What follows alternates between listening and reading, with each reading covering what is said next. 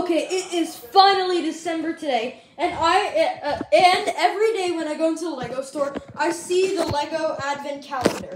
But one thing I never see is a Minecraft Advent calendar. And Lego has released tons of Minecraft sets, and I've built this giant, massive Minecraft world. So what this world needs is a Minecraft Advent calendar to celebrate the festive season. So today I'm going to be uh, I'm going to be making uh, my I'm going to be making my Christmas special this year by getting uh, by getting a new Minecraft Advent calendar. Today I'm going to be building it, and this is day one, December third. Okay, so guys, uh, first I started off by making this Lego Santa Claus set. Santa Claus is the is one of the most uh, iconic Christmas people and uh, and every and every year he's uh, people put up Santa decorations.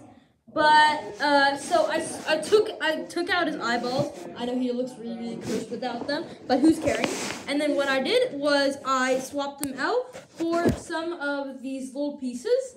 And uh, so I'm making this Santa into a Herobrine Santa. And Herobrine is one of the main villains in Minecraft. So this is Herobrine Santa, and then I built him a little a little base to represent the island in Minecraft, and I even built a little village over there too, if you can see that. And then I want to show him stomping through the Minecraft world. So there we go. So uh, and then I'm going to organize all of these onto a base plate, and every day I'm going to uh, pretty much every day I am going to be building a new MOC for our uh, advent calendar. So this is day one, and thank you for watching.